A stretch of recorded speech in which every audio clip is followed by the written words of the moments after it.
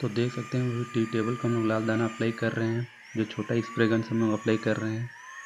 अगर आपके पास छोटा स्प्रे गन नहीं है तो आप कपड़े से भी अप्लाई कर सकते हैं, जैसे कपड़े से अप्लाई करने से दो या तीन कोड अप्लाई करना पड़ता है।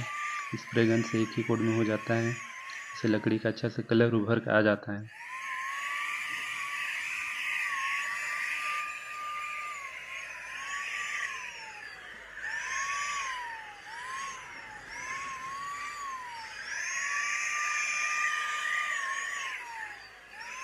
तो देख सकते हैं, ये हमारा लाल दाना अप्लाई हो चुका है। अभी हम सेलर अप्लाई करने वाले हैं, देख सकते हैं हार्डनर डाल रहे हैं। हार्डनर के बाद हम लोग इसको अच्छे से मिला लेंगे। फिर पीयूसी का थिनर मिलाएँगे थिनर डालने के बाद हम लोग अच्छे से इसको मिक्स कर लेंगे, ताकि पूरा मिल जाए। उसके उसके बाद डिब्बे में हम लोग भर के इसको छोटा स्प्रे गन सप्लाई करेंगे। सेलर को एक से दो या तीन कोड हमें अप्लाई करना चाहिए, जिससे लकड़ी का शाइनिंग अच्छे से आए। हम लोग सेलर को भी दो कोड अप्लाई करेंगे।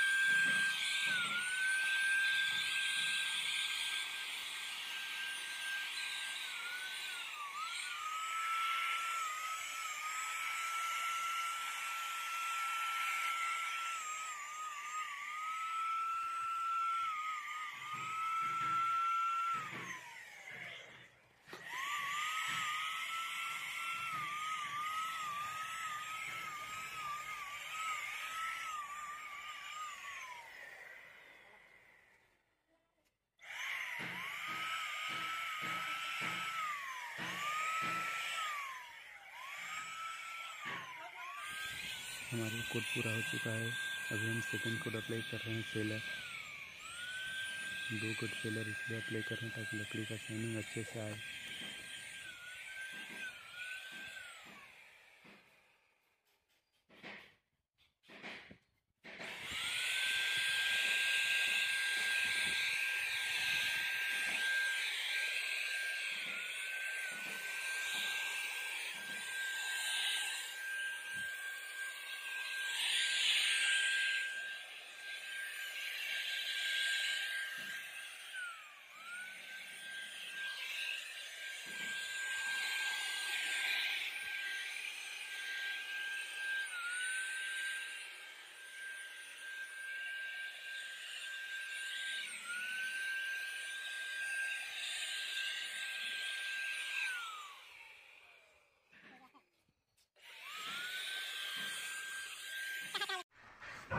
देख सकते हैं, हमारा टी टेबल है जो कंप्लीट हो चुका है, जो साइन अच्छा कर रहा है।